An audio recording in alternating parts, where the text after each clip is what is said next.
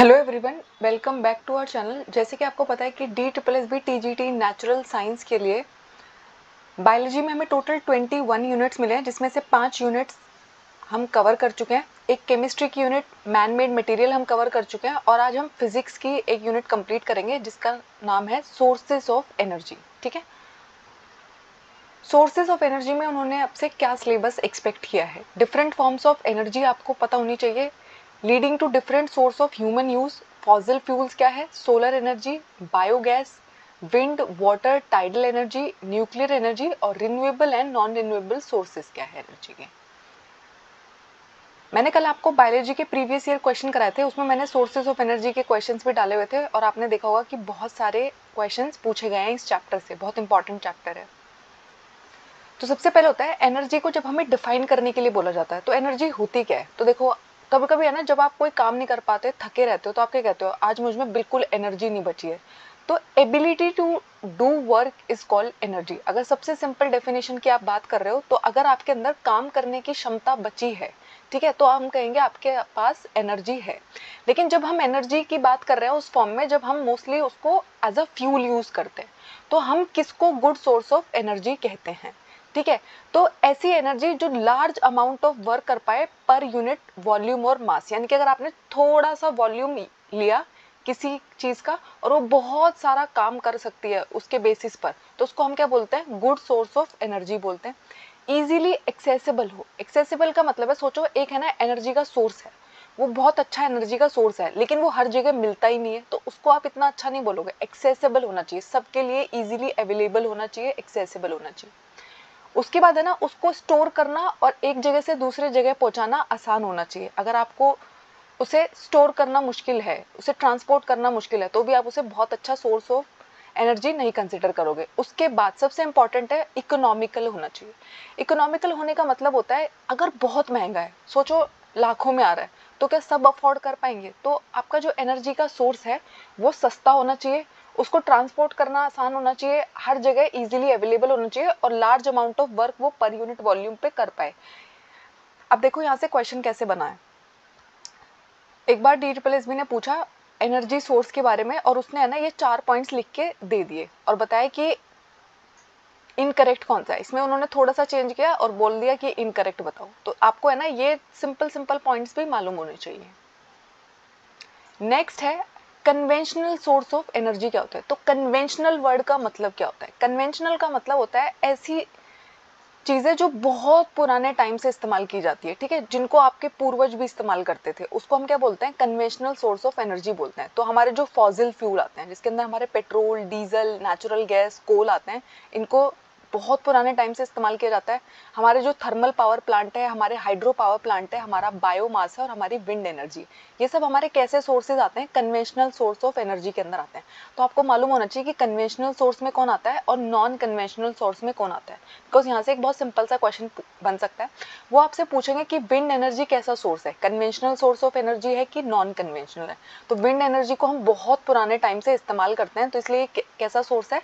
Conventional source of energy है। लेकिन solar energy को हमने न्यूली एक्सप्लोर करना शुरू किया तो वो कैसा सोर्स है? नॉन कन्वेंशनल सोर्स के अंदर आता है। आप जो सोलर पैनल इस्तेमाल करते हो सोलर कुकर इस्तेमाल करते हो, वो सब क्या है? नॉन कन्वेंशनल है, ठीक है? अब आते हैं सबसे पहले फॉजिल फ्यूल तो हमारे फॉजिल फ्यूल्स के अंदर कौन कौन आता है? कोयला, पेट्रोल, डीजल नेचुरल गैस तो आपको पहले तो ये मालूम होना चाहिए कि फॉजिल फ्यूल के अंदर सिर्फ़ पेट्रोल और डीजल नहीं आते, हमारा जो कोयला है और नेचुरल गैस है, वो भी किसका पार्ट है? फॉजिल फ्यूल का पार्ट है। ठीक है?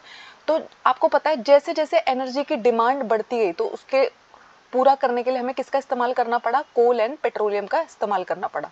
जैसे जैसे हमारे एनर्जी सोर्सेज हमारे पास है जैसे जैसे हमने उनको इस्तेमाल करना शुरू किया तो हमारी जो टेक्नोलॉजीज़ है, वो भी डेवलप होती चली गई। लेकिन फॉजिल फ्यूल के साथ प्रॉब्लम क्या होती है ना? इनको है ना मिलियन ऑफ़ ईयर्स लगते हैं। यानी कि अगर आपको कोयला चाहिए, अगर आपको तेल चाहिए तो इनको बनने के लिए ना मिलियन ऑफ़ ईयर्स लगते हैं और ये लिमिटेड रिज़र्व है। लिमिटेड रिज़र्व का मतलब ये है, हमारे पास ऑयल अनलिमिटेड नहीं है।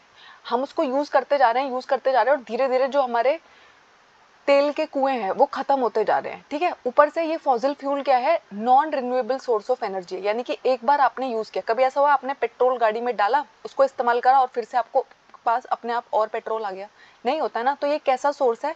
Non renewable source of energy है। Non renewable source of energy का मतलब होता है ऐसे सोर्सेज जिनको हम कंजप्शन के बाद वो खत्म हो जाएँगे प्लस वो बहुत लिमिटेड है और उन, वो इतनी आसानी से बनते नहीं है। बहुत टाइम लगता है, बहुत लंबा टाइम लगता है उनको बनने के लिए। तो इसलिए हमें क्या करना है? उनको कंजर्व करके रखना है। किसकी बात हो रही है? पेट्रोल एंड डीजल की कोल की नेचुरल गैस की। ठीक है? ये है हमारे फॉजिल फ्यूल्स उसके बाद होता है, जब आप फॉजिल फ्यूल को बर्न करते हो तो उसकी कुछ डिसएडवांटेजेस भी है। तो आपको पता है, जब आप कोल एंड पेट्रोलियम प्रोडक्ट्स को जलाते हो तो क्या होता है ऑक्साइड रिलीज़ होते हैं कार्बन के नाइट्रोजन के सल्फ़र के, ठीक है? और इसकी वजह से ये कैसे ऑक्साइड है? ये सारे के सारे एसिडिक ऑक्साइड है। और ये क्या करते हैं, जब ये ऊपर जाकर वाटर के साथ रिएक्ट करते हैं तो एसिड रेन हो रही होती है। आपको पता है ना सल्फ़र डाइऑक्साइड नाइट्रोजन डाइऑक्साइड जब ये रिएक्ट करते हैं पानी के साथ तो क्या होता है H two S O four ठीक है? H two S O four की जब रेन होती है तो हम उसको क्या बुलाते हैं? एसिड रेन बुलाते हैं। और ये क्या करती है? आके हमारे जो वाटर बॉडीज है, हमारा जो सॉइल है, उसको पोल्यूट करती है हमारी एसिड रेन ठीक है? तो फॉजिल फ्यूल एक तो बहुत ही लिमिटेड है। नॉन रिन्यूएबल है, ऊपर से हमारे लिए पोल्यूशन में भी प्रॉब्लम क्रिएट कर देते हैं। दूसरा क्या करते हैं, बहुत सारी गैसेस रिलीज़ होती है इनकी बर्निंग से, जो क्या करती है, हमारे ग्रीन हाउस इफ़ेक्ट को इंक्रीज करती है। यानी कि जब हम इनको जलाते हैं तो कार्बन डाइऑक्साइड रिलीज़ होती है बहुत सारी। और कार्बन डाइऑक्साइड गैस कैसी गैस है? एक ग्रीन हाउस इफ़ेक्ट वाली गैस है। ग्रीन हाउस इफ़ेक्ट का मतलब होता है, ऐसी गैसेज जो हमारे अर्थ के एवरेज टेम्परेचर को इंक्रीज करने में हेल्प कर रही है। उनको हम क्या बोलते हैं? ग्रीन हाउस गैसेज बोल रहे हैं, जिसकी वजह से हमारे अर्थ का एवरेज टेम्परेचर बढ़ते जा रहा है, जिसकी वजह से बाद में क्या होगा, ग्लोबल वार्मिंग का लेवल बहुत ही ज़्यादा इंक्रीज कर जाएगा, ठीक है? तो आपको ये भी मालूम होना चाहिए कि हमारे पास फॉजिल फ्यूल के एडवांटेजेस क्या है और डिसएडवांटेजेस क्या है, ठीक है? तो डिसएडवांटेजेस है पोल्यूशन करता है वाटर पोल्यूशन करता है एयर पोल्यूशन करता है सॉइल पोल्यूशन करता है, ठीक है? तो बहुत सारे टाइप्स के पोल्यूशन भी करता है। उसके बाद है इन, लेकिन इनका इस्तेमाल करके हम क्या करते हैं? इलेक्ट्रिसिटी भी जनरेट करते हैं, ठीक है? तो जैसे आप देखते हो ना, हम हीट का इस्तेमाल करते हैं, ठीक है? अपने टर्बाइन को घुमाते हैं, ठीक है? रोटर ब्लेड असेंबली जो है, उसको आप सिंपलेस्ट टर्बाइन जो है, वो मूव करता है। किसकी मदद से? जब आप है ना एनर्जी डालोगे तो आपका जो रोटेटर है, वो बहुत स्पीड से एक फ़ैन की तरह मूव करना स्टार्ट कर देता है और उसके साथ क्या अटैच होता है? एक डायनेमो अटैच होता है, जिसका काम क्या होता है? मैकेनिकल एनर्जी को इलेक्ट्रिकल एनर्जी में कन्वर्ट कर देना। आपने जो से मैकेनिकल एनर्जी प्रोवाइड की, उसको हमारा टर्बाइन किसमें कन्वर्ट कर देता है? इलेक्ट्रिकल एनर्जी में कन्वर्ट कर देता है और इस फॉर्म में हमें क्या मिल जाती है? इलेक्ट्रिसिटी मिल जाती है। ठीक है? टर्बाइन की बात हो रही है। उसके बाद आता है हमारे थर्मल पावर प्लांट थर्मल देखो थर्मल जो वर्ड होता है ना, वो गर्मी से जुड़ा होता है, ठीक है? तो जब आप, है ना फॉजिल फ्यूल को जलाते हो, ठीक है? पावर स्टेशन में जब आप कोयले को जलाते रहते हो, जलाते रहते हो तो उसकी वजह से क्या होता है? उसको इस्तेमाल करके हम पानी को गर्म कर लेते हैं। पानी को गर्म करते हैं और उससे जो स्टीम निकलती है, उससे हम अपने टरबाइन को घुमाते हैं, ठीक है? तो हमने क्या किया? फॉजिल फ्यूल को बर्न किया और उसकी वजह से, है ना, जो स्टीम प्रोड्यूस हुई, पानी को गर्म करके जो स्टीम प्रोड्यूस हुई, उससे हमने अपने टरबाइन को रन करना शुरू किया, ठीक है? और जब है ना कोल एंड पेट्रोलियम कई डिस्टेंस तक इस तरीके से हम इलेक्ट्रिसिटी जनरेट करते हैं, ठीक है? तो थर्मल पावर प्लांट्स जो होते हैं मोस्टली वो कहाँ बनाए जाते हैं? एक ऐसे एरिया में बनाए जाते हैं जहाँ पे आसपास है ना कोयले की खदानें हो, या फिर ऑयल फील्ड्स हो। अब हम ऐसा क्यों करते हैं?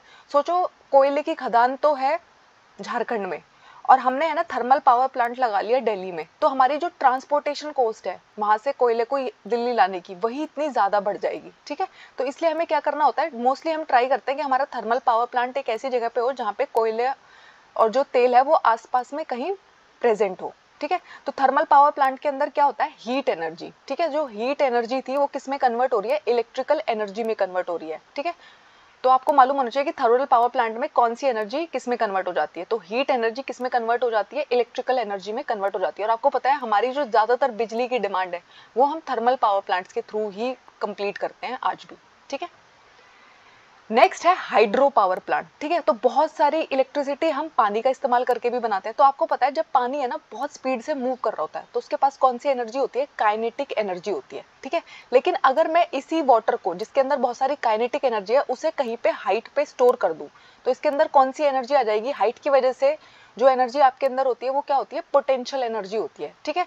तो हाइड्रो पावर प्लांट में हम क्या करते हैं? हमने है ना डैम में स्टोर कर लिया पानी को। एक हाइट पे स्टोर किया डैम में तो उसके अंदर कौन सी एनर्जी है? पोटेंशियल एनर्जी है। नीचे हमने टर्बाइन लगा दिया होता है और बहुत स्पीड से जब पानी नीचे गिरता है, ठीक है? तो क्या होता है? हाइड्रो पावर प्लांट में ये पोटेंशियल एनर्जी अब किसमें कन्वर्ट हो जाएगी? इलेक्ट्रिसिटी बनाने के लिए कन्वर्ट हो जाएगी, ठीक है? तो आपको मालूम होना चाहिए कि मूविंग वाटर के पास काइनेटिक एनर्जी होती है। जब हम उसे एक हाइट पे डैम में स्टोर कर देते हैं, उसके पास पोटेंशियल एनर्जी होती है और ये एनर्जी बाद में इलेक्ट्रिकल एनर्जी के अंदर कन्वर्ट हो जाती है। ये होता है हमारे हाइड्रो पावर प्लांट्स में, ठीक है? तो डैम बनाकर भी हम इलेक्ट्रिसिटी प्रोड्यूस करते हैं, ठीक है? तो हाइड्रो इलेक्ट्रिसिटी बनाने के लिए हम क्या करते हैं? हाई राइज डैम यानी कि थोड़े हाइट पे बने हुए, ऊंचाई पे बने हुए डैम्स का हम कंस्ट्रक्शन करते हैं रिवर के पास, ठीक है? और रिवर का जो बहुत तेज़ी से फ्लो आ रहा था, जिसके पास काइनेटिक एनर्जी आ रही थी, उसको हम क्या करते हैं? लार्ज वाटर रिजर्वेयर में सारे के सारे पानी को हम कलेक्ट करते रहते हैं, ठीक है? अब इसकी वजह से क्या होता है? जो काइनेटिक एनर्जी है, बहते हुए पानी की, वो किसमें कन्वर्ट हो गई? स्टोरेज की वजह से पोटेंशियल एनर्जी में कन्वर्ट हो गई, ठीक है? और फिर जब है ना, नीचे हम क्या लगा के रखते हैं? टरबाइन लगा के रखते हैं, और उस पानी को जब हम एकदम से रिलीज़ करते हैं टरबाइन घूमता है, और क्या होता है? हमारी एनर्जी किसमें कन्वर्ट हो गई है? इलेक्ट्रिसिटी में कन्वर्ट हो गई है, ठीक है? अब डैम कंस्ट्रक्शन करने के लिए क्या क्या प्रॉब्लम आते हैं? एक तो आप हर जगह डैम नहीं बना सकते। ऐसा तो नहीं होगा ना, किसी एरिया में नदी नहीं बह रही है और वहाँ पे आप डैम बना दोगे तो लिमिटेड प्लेसेस है जहाँ पर हम डैम का कंस्ट्रक्शन कर सकते हैं। उसके अलावा जिस एरिया में हम डैम बनाते हैं ना, वहाँ की जो सारी एग्रीकल्चर लैंड होती है ह्यूमन हैबिटेशन होता है, उनको वहाँ से डिसलोकेट करना पड़ता है। उन लोगों को वहाँ से हटा के कहीं और बसाना पड़ता है, ठीक है? ऊपर से जो सारी की सारी क्रॉप प्लांट्स वहाँ पर थे, वो क्या हो जाते हैं? सबमर्ज हो जाते हैं। पानी ही पानी में डूब जाते हैं, जल मग्न हो जाते हैं, ठीक है? तो सारी की सारी वेजिटेशन जो है, वो पानी के अंदर डूब गई है और फिर सड़ने लग जाती है। एनारोबिक कंडीशन हो जाती है। एनारोबिक कंडीशन की वजह से क्या होगा? वहाँ पर बहुत सारी मीथेन गैस प्रोड्यूस हो जाती है। और मीथेन भी हमारी कैसी गैस है? ग्रीन हाउस गैस है। यही भी क्या करती है? हमारी ग्लोबल वार्मिंग को इंक्रीज करने में हेल्प करती है, ठीक है? और आपको पता है यहाँ से, अब देखो, आपका ना एक जगह पे घर है, वहाँ पे एक दिन गवर्नमेंट आके कहने लगे, हम यहाँ पर डैम बनाएँगे। आपको अपना घर छोड़ के जाना पड़ेगा, अपनी सारी मेमोरीज छोड़ के जानी पड़ेगी। तो एज अ ह्यूमन आपके लिए भी ये चीज़ जो है, बहुत अच्छी नहीं है। आपको पता नहीं कहाँ जाके बसाया जाएगा, आपको रहने की प्रॉपर जगह दी जाएगी कि नहीं दी जाएगी। तो ऐसे भी बहुत सारे डिस्प्यूट होते हैं, ठीक है? डैम कंस्ट्रक्शन के प्रोसेस के अंदर, ठीक है? लिमिटेड प्लेसेस है आपकी एग्रीकल्चर लैंड और ह्यूमन हैबिटेशन को सैक्रिफाइस करना पड़ता है। उसके अलावा बहुत ज़्यादा रॉटिंग होने की वजह से, फ़सलें खराब होने की वजह से बहुत सारा मीथेन गैस का प्रोडक्शन होता है और लोगों को दूसरी जगह पे बसाना, ये भी एक चैलेंज है। उसके बाद है ना, यहाँ पर कुछ फैक्ट्स दिए हुए हैं जो आपको मालूम होना चाहिए। जो टेहरी डैम है, वो कौन सी रिवर पे बना हुआ है? गंगा रिवर पे बना हुआ है। सरदार सरोवर डैम जो है, वो नर्मदा रिवर पर बना हुआ है। उसके बाद मैंने आपको कल जब क्वेश्चन कराए थे तो मैंने आपको बताया था कि उन्होंने हमसे एग्ज़ाम में पूछा कि कंट्री ऑफ़ विंड्स को इसको कहते हैं। तो देखो, इस चैप्टर से उन्होंने क्वेश्चन उठाया था डेनमार्क को हम कहते हैं कंट्री ऑफ़ विंड्स ठीक है? उसके बाद आता है बायोमास तो बायोमास हम किसको कहते हैं? हमें ये क्लियर ही नहीं होता। हम सोचते हैं बायोफ्यूल है बायोमास है, क्या है? तो एज ए फ्यूल्स जिनको हमें ना प्लांट और एनिमल प्रोडक्ट से बनाते हैं, यानी कि अगर आप लकड़ी जला रहे हो प्लांट से आ रही है ना लकड़ी, अगर आप भैंस के उपले जला रहे हो, ठीक है? तो भैंस का जो गोबर होता है, उससे जो उपले बनाए जाते हैं, आप अगर उसका इस्तेमाल कर रहे हो एज अ फ्यूल ठीक है? तो एनिमल और प्लांट प्रोडक्ट से बना हुआ फ्यूल अगर आप इस्तेमाल करते हो तो इसको हम क्या बोलते हैं? बायोमास बोलते हैं, क्योंकि इनका जो सोर्सेज है, वो क्या है? प्लांट या एनिमल है। और प्लांट और एनिमल कैसी चीज़ें हैं? लिविंग है बायो है बायोटिक कॉम्पोनेंट है, ठीक है? तो उनसे बनने वाले फ्यूल को हम क्या बुलाते हैं? बायोमास बुलाते हैं, ठीक है? ऐसे फ्यूल जो होते हैं ना, इनसे बहुत ज़्यादा गर्मी प्रोड्यूस नहीं होती है और बहुत सारा धुआँ ये देते हैं जब इनको जलाया जाता है। अगर आप कभी भी लकड़ी को जलाओगे तो आप देखोगे बहुत सारा धुआँ निकल रहा है। जब भी आप उपले जलाते हो तो आपको पता चलता है कि बहुत सारा धुआँ निकल रहा है, ठीक है? गोबर के जो उपले होते हैं, गाँव में बहुत इस्तेमाल किए जाते हैं ये दोनों के दोनों फ्यूल्स ठीक है? आजकल तो कम किया जाता है क्योंकि गवर्नमेंट का जो ज़्यादा फोकस है वो किस पे है? एलपीजी पे, ठीक है? गवर्नमेंट चाहते हैं कि मैक्सिमम लोग क्या यूज़ करें? एलपीजी इस्तेमाल करें, क्योंकि इससे है ना बहुत सारा पोल्यूशन होता है एयर पोल्यूशन होता है, ठीक है? तो जब आप है ना लकड़ी को जलाते हो लिमिटेड सप्लाई ऑफ़ ऑक्सीजन ठीक है? यानी कि ऑक्सीजन जो है ना वो बहुत ज़्यादा प्रेजेंट नहीं है लिमिटेड सप्लाई है, ठीक है? तो क्या होगा? वहाँ पर जो वाटर और वॉलेटाइल कॉम्पोनेंट होंगे ना, वो हटने शुरू हो जाते हैं और पीछे जो बच जाता है उसको हम क्या बुलाते हैं? चारकोल बुलाते हैं। इसका जो रेजिड्यू बचेगा ना उसके जलने से लिमिटेड सप्लाई में जब आप ऑक्सीजन की जलाओगे इसको तो चारकोल जो है वो पीछे बच जाता है। चारकोल जो होता है, वो बिना फ्लेम्स के जलता है, ठीक है? स्मोकलेस होता है और हाई हीट जनरेटिंग एफिशिएंसी होती है। मतलब जैसे आप लकड़ी को देख रहे थे, जैसे आप उपलों को देख रहे थे, उनकी जो हीटिंग जनरेटिंग कैपेसिटी थी ना, वो बहुत कम थी, लेकिन चारकोल की ज़्यादा होती है। दूसरा, जब चारकोल को आप जलाते हो ना, उसमें धुआँ भी कम निकलता है, लेकिन वुड के अंदर, उपलो के अंदर बहुत ज़्यादा धुआँ निकलता है, ठीक है? तो आपको मालूम होना चाहिए कि बायोमास हम किसको कहते हैं? कौन से फ्यूल्स हमारे बायोमास के अंदर होते हैं? उसके अलावा जो हमारा काउडंग होता है, ठीक है? इसको हम क्या करते हैं? जब ऑक्सीजन के एब्सेंस में आप इसको रॉट करते हो, इसको सड़ाते हो तो क्या बन जाती है? बायो गैस बन जाती है और जिसको हम गोबर गैस भी बुलाते हैं। क्यों? क्योंकि इसका जो स्टार्टिंग मटेरियल होता है, वो काउ डंग होता है, ठीक है? काउ डंग का इस्तेमाल करके हम गोबर गैस बनाते हैं और ये भी एक तरीके का फ्यूल है, ठीक है? गोबर गैस। अब हम बायोगैस प्रोडक्शन कैसे करते हैं, जिसको हम गोबर गैस भी बुलाते हैं? तो बायोगैस किस तरीके से प्रोड्यूस करते हैं? हम है ना एक टैंक लेते हैं, ठीक है? उस टैंक का शेप कैसा है? डोम लाइक स्ट्रक्चर होता है, जिसको ईंटों के द्वारा बनाया जाता है। उसके अंदर आप क्या करोगे? आपने काउडंग डाला, उसमें आपने पानी डाला। और जब आप उसकी मिक्सिंग कर देते हो डाइजेस्टर उसको आप बुला रहे हो, उस डोम को आप क्या बुलाते हो? डाइजेस्टर बुलाते हो। और ये पूरा का पूरा चैम्बर है ना सील्ड चैम्बर है। इसके अंदर है ना, कोई ऑक्सीजन प्रेजेंट नहीं होती। तो यहाँ पे किस तरीके का एनारोबिक डाइजेशन होगा यहाँ पे? तो जो माइक्रो ऑर्गेनिजम्स यहाँ पर अब इसके अंदर ग्रो कर रहे होंगे, वो है ना ऑक्सीजन की एब्सेंस में ग्रो करेंगे। और क्या करते हैं? इसको है ना, वो सड़ा रहे होते हैं। यानी कि जो ये पानी का और गोबर का मिक्सचर हमने डाला था, उसको अब एनारोबिक बैक्टीरिया स्मॉल पार्टिकल में डिकम्पोज कर रहे हैं, ठीक है? और इसके बाद है ना, यहाँ से क्या रिलीज़ होता है? Methane carbon dioxide hydrogen and hydrogen sulphide ठीक है? तो हमारी जो गोबर गैस होती है, हमारी जो बायो गैस होती है, उसके अंदर कौन कौन से कंपोनेंट प्रेजेंट होते हैं? मीथेन गैस प्रेजेंट होती है कार्बन डाइऑक्साइड प्रेजेंट होती है हाइड्रोजन प्रेजेंट होती है एंड हाइड्रोजन सल्फाइड प्रेजेंट होती है। एग्ज़ाम में उन्होंने पूछा था, मैंने आपको कल बताया भी था कि 74 परसेंट कितनी क्या प्रेजेंट होती है इसके अंदर? मीथेन प्रेजेंट होती है। तो बायो गैस का सबसे मेजर कंपोनेंट कौन है? मीथेन है। 74 टू 75 परसेंट ठीक है? उसके बाद हम बायोगैस को क्या करते हैं? गैस टैंक के ऊपर है ना, एक आउटलेट दिया होता है। पाइप के थ्रू पाइप होता है, उसके थ्रू आप उस गैस को विड्रॉ कर लेते हो और घरों में पाइप के थ्रू इस्तेमाल करना शुरू कर देते हो। तो हम क्या करते हैं, इसमें गोबर और पानी को मिक्स करते हैं। उनको एनारोबिक बैक्टीरिया सड़ाते हैं सड़ाते हैं सड़ाते हैं और उसके बाद है ना उसमें कुछ गैसेस का मिक्सचर हमें मिलता है और उस गैस के मिक्सचर को हम क्या बुलाते हैं? बायोगैस बुलाते हैं, ठीक है? उसके बाद है ना इस स्लरी को जो आपने यूज़ किया था, ठीक है? तो बायोगैस जो है वो एक एक्सीलेंट फ्यूल है और इसके अंदर 75 परसेंट के अराउंड मीथेन है, ठीक है?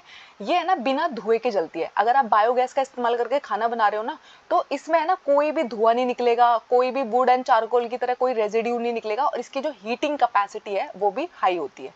बायोगैस को है ना लाइटनिंग के लिए, यानी कि लाइट जलाने के लिए भी इस्तेमाल किया जा सकता है। अब देखो, वो जो हमने पानी और गोबर का मिक्सचर डाला था ना तो उसमें से जब बायोगैस निकल गए तो भी है ना कुछ स्लरी बच जाती है, ठीक है? यानी कि बचा हुआ जो रेजिड्यू होता है, उसको हम क्या बुलाते हैं? स्लरी बुलाते हैं, ठीक है? और इसको भी हम निकाल के इस्तेमाल करते हैं, क्योंकि जो स्लरी होती है ना नाइट्रोजन एंड फॉस्फोरस में बहुत रिच होती है तो एज ए मेन्योर यूज़ होती है। तो आपको पता है मेन्योर एंड फर्टिलाइज़र के बीच में फ़र्क क्या होता है? तो मेन्योर जो होता है ना, वो हमारी ऑर्गेनिक खाद होती है, ठीक है? यानी कि गाय के गोबर की जो खाद होती है, उसको हम मेन्योर बुलाते हैं और जो केमिकली हम फैक्ट्रीज में बनाते हैं नाइट्रोजन फॉस्फोरस जिसके अंदर और भी कॉम्पोनेंट हम ऐड कर रहे होते हैं, वो क्या होते हैं? हमारे फर्टिलाइजर्स होते हैं। नेक्स्ट आता है विंड एनर्जी ठीक है? तो जो हमारी फास्ट मूविंग एयर होती है, उसको हम क्या बुलाते हैं? विंड बुलाते हैं, ठीक है? और विंड एनर्जी कोई भी जो मूविंग चीज़ होती है, उसके पास कौन कौन सी एनर्जी होती है? काइनेटिक एनर्जी होती है, ठीक है? तो जो हवा के पास काइनेटिक एनर्जी होती है ना, उसका इस्तेमाल हम कर सकते हैं, उससे डिफरेंट डिफरेंट काम करवाने के लिए। तो बहुत सारे लोग है ना पास्ट में क्या क्या करते थे? वाटर लिफ्टिंग पंप लगा देते थे, उसके साथ एक रोटरी मशीन लगा देते थे। तो जब है ना, बहुत तेज हवा चलती थी विंड मिल की स्पीड की वजह से क्या होता था, वो वहाँ से पानी खींच लिया जाता था, ठीक है? कुओं के साथ भी ऐसा किया जाता है, ठीक है? और आजकल तो हम विंड एनर्जी का इस्तेमाल किस लिए करते हैं? इलेक्ट्रिसिटी जनरेट करने के लिए भी करते हैं। यानी कि अगर हमें बिजली उत्पादन करना है, उसके लिए भी है ना पानी का इस्तेमाल करते हैं, कोयले का इस्तेमाल करते हैं और हवा का भी इस्तेमाल करते हैं। अभी हमने जो पढ़ा हाइड्रो पावर प्लांट उसमें हम किसका इस्तेमाल कर रहे हैं? पानी का इस्तेमाल कर रहे हैं। थर्मल पावर प्लांट में हमने किसका इस्तेमाल किया? फॉजिल फ्यूल का इस्तेमाल किया, कोयले का इस्तेमाल किया। विंड एनर्जी में हम क्या करते हैं? जो हवा है, उसके पास जो काइनेटिक एनर्जी है, उसका इस्तेमाल करके हम क्या करते हैं? इलेक्ट्रिसिटी जनरेट कर लेते हैं। तो अगर आपको इलेक्ट्रिसिटी जनरेट करनी है तो आप क्या करोगे? जो विंड मिल है, जब वो है ना बहुत तेज़ी से घूमेगी, उसके साथ आप है ना टरबाइन को अटैच कर देते हो और वो टरबाइन किससे कनेक्टेड होता है? इलेक्ट्रिक जनरेटर से कनेक्टेड होता है, ठीक है? तो अगर आप एक सिंगल विंड मिल लगाओगे और आप सोचोगे कि आप बिजली उत्पादन कर लोगे तो ऐसा नहीं हो पाएगा क्योंकि एक विंड मिल की जो रोटेशन कैपेसिटी होगी बहुत कम होगी। तो जब भी आप कभी विंड फार्म देखोगे ना तो वहाँ पर है ना बहुत सारे विंड मिल्स लगे होते हैं, ठीक है? तो कमर्शियल पर्पज पे जब हम विंड मिल से बिजली बनाते हैं तो हम है ना एक पर्टिकुलर एरिया को लेते हैं, उसमें बहुत सारे विंड मिल खड़े करते हैं। विंड एनर्जी में हम क्या करते हैं? काइनेटिक एनर्जी को किसमें तो जो काइनेटिक एनर्जी होती है विंड की, उसको हम कन्वर्ट कर लेते हैं इलेक्ट्रिसिटी प्रोडक्शन में। विंड एनर्जी जो होती है, वो इन्वायरमेंट फ्रेंडली तरीका है सो विंड एनर्जी जो होता है, वो रिन्यूएबल सोर्स है। आप है ना, हवा को बार बार बार बार दोबारा से इस्तेमाल कर सकते हो। लेकिन विंड एनर्जी के लिमिटेशंस क्या है? तो आपको है ना, पहली बात ये है, जहाँ पर आप अपना विंड एनर्जी फार्म लगाओगे, वहाँ पर है ना, पूरे साल हवा बहती रहनी चाहिए। सोचो, आपने एक ऐसी जगह पे लगाया अपना विंड मिल जहाँ पे है ना कभी कभी हवा चलती है तो आपका जो विंड मिल का पूरा पर्पज है, वो डिफीट हो जाएगा। उसके अलावा आपको दूसरी बात जो ध्यान रखनी होती है आपको ऐसी जगह पे अपना विंड फार्म लगाना होगा जहाँ पे ना स्पीड कितनी रहनी चाहिए? पंद्रह किलोमीटर पर आवर से ज़्यादा ही स्पीड होनी चाहिए, ठीक है? टर्बाइन के अच्छे मूवमेंट के लिए क्या इंपॉर्टेंट है कि स्पीड कितनी रहनी चाहिए? कि 15 किलोमीटर पर आवर होनी चाहिए। ये क्वेश्चन मैंने आपको कल बताया था कि ये क्वेश्चन भी पूछा गया है, ठीक है? उसके अलावा जब आप है ना स्टैब्लिश कर रहे हो, अपने विंड फार्म को स्टैब्लिश कर रहे हो तो वहाँ पर है ना आपको वन मेगावाट जनरेटर की कैपेसिटी अगर आप लगा रहे हो तो कम से कम आपको दो हेक्टेयर लैंड की ज़रूरत पड़ेगी। दूसरा क्या होता है, हमारे जो विंड मिल होते हैं, उसको लगाने का जो कॉस्ट है, वो बहुत ही हाई है। और आपको बहुत ज़्यादा मेंटेनेंस करना पड़ता है, क्योंकि बार बार आपके जो विंड मिल के जो रोटर्स होते हैं, वो ख़राब होते रहते हैं, ठीक है? तो ये सब क्या है, उसकी लिमिटेशंस है। ये थे हमारे कन्वेंशनल सोर्स उसके बाद आते हैं हमारे non conventional source of energy तो हमारी जो सोलर एनर्जी है टाइडल एनर्जी है वेव एनर्जी है ओशन थर्मल एनर्जी है जियो थर्मल एनर्जी है न्यूक्लियर एनर्जी है। ये सब कैसे सोर्स है? Non conventional source of energy यानी कि इनको पुराने ज़माने टाइम से इस्तेमाल नहीं किया जाता था। इनको बहुत लेटेस्टली एक्सप्लोर करना शुरू किया गया है, ठीक है? सबसे पहले आती है हमारी सोलर एनर्जी तो आपको पता है अर्थ के लिए जो अल्टीमेट सोर्स ऑफ़ एनर्जी है, वो कौन है? सूरज की किरणें हैं, ठीक है? तो जो सनलाइट हमारे अर्थ पर पहुँचती है, उसमें से बहुत सारी तो रिफ्लेक्ट बैक कर जाती है और बहुत सारी जो है वो एब्जॉर्ब हो जाती है। आपको पता होगा, जो ब्लैक कलर के कपड़े होते हैं डार्क कलर के कपड़े होते हैं, वो है ना ज़्यादा हीट को एब्जॉर्ब करते हैं as compare to light colour के कपड़े, ठीक है? तो इसलिए जो भी हमारे सोलर कुकर्स होते हैं सोलर वाटर हीटर्स होते हैं, उस मोस्टली वो किस कलर से पेंट किए जाते हैं? ब्लैक कलर से पेंट किए जाते हैं क्योंकि ब्लैक कलर की जो हीट एब्जॉर्बिंग कैपेसिटी होती है, वो बहुत हाई होती है, ठीक है? और हाई टेम्परेचर रखने के लिए, यानी कि सोलर कुकर के अंदर और भी ज़्यादा हाई टेम्परेचर रहे तो वहाँ पर क्या लगा देते हैं? मिरर्स लगा देते हैं। मिरर क्या करता है? जब सन की रेज आती है, उनको एक जगह पे फोकस कर देते हैं और उस एरिया उस जगह का टेम्परेचर इंक्रीज हो जाता है, ठीक है? सोलर कुकर इसलिए किससे कवर किया जाते हैं? उनका जो बाहर का बॉक्स होगा वो ब्लैक कलर का होगा और उसके ऊपर है ना, एक ग्लास की प्लेट लगाई होती है ताकि टेम्परेचर और भी ज़्यादा इंक्रीज कर दिया जाए। ब्लैक कलर की कौन सी प्रॉपर्टी होती है कि वो हीट को एब्जॉर्ब करता है, बहुत ज़्यादा हीट को एब्जॉर्ब कर लेता है, ठीक है? एज़ कंपेयर टू अगर आप वाइट कलर देखोगे या कोई और कलर देखोगे, सबसे ज़्यादा हीट एब्जॉर्ब करने की कैपेसिटी किसके पास है? ब्लैक कलर के पास है। उसके बाद आता है हमारे सोलर पैनल्स ठीक है? तो आजकल आप देखते हो बड़े बड़े बिल्डिंग्स को जब आप देखोगे, बहुत सारे लोग के घरों पे आप देखोगे तो वहाँ पर क्या लगा होता है? सोलर पैनल लगा होता है। तो सोलर पैनल क्या करता है? बहुत सारे सोलर सेल्स को जब आप लार्ज कॉम्बिनेशन में अरेंजमेंट में कंबाइन करके लगा देते हैं तो उसको हम क्या बुलाते हैं? सोलर पैनल बुलाते हैं, ठीक है? तो सोलर पैनल क्या करता है? दिन में जब सूरज निकलता है तो वो तो वो है ना, अपने अंदर एनर्जी को स्टोर कर लेता है और बाद में जब सूरज नहीं निकल रहा होगा, उस टाइम उस एनर्जी से आप क्या कर सकते हो? अपने घर के सारे के सारे इलेक्ट्रिसिटी इक्विपमेंट्स को चला सकते हो। ठीक है? इलेक्ट्रिसिटी की फॉर्म में कन्वर्ट हो जाती है सोलर एनर्जी ठीक है? तो जो हमारे सोलर पैनल होते हैं, वो किससे बने होते हैं? सिलिकॉन से बने होते हैं। सोलर सेल्स बनाने के लिए किसका इस्तेमाल किया जाता है? सिलिकॉन का इस्तेमाल किया जाता है, जो नेचर में बहुत मिलता है, लेकिन अच्छी क्वालिटी का सिलिकॉन सोलर सेल बनाने के लिए अच्छी क्वालिटी का जो सिलिकॉन चाहिए, उसकी जो सप्लाई है, वो लिमिटेड है। ठीक है? उसके बाद है ना, जब हम इन सोलर पैनल को आपस में अरेंज कर रहे होते हैं, ठीक है? तो उसको इंटरकनेक्ट करने के लिए, एक दूसरे से आपस में जोड़ने के लिए किसका इस्तेमाल किया जाता है? सिल्वर का इस्तेमाल किया जाता है। तो आपको मालूम होना चाहिए कि सोलर पैनल बनाने के लिए आपको सिलिकॉन चाहिए और उनके इंटरकनेक्शन के लिए आपको सिल्वर चाहिए, जिसकी वजह से ना कॉस्ट बहुत हाई हो जाती है। आपको पता है, चांदी बहुत महँगी आती है तो क्या होता है कॉस्ट जो होती है वो इंक्रीज हो जाती है। उसके बाद आता है सोलर पैनल के एडवांटेजेस क्या है?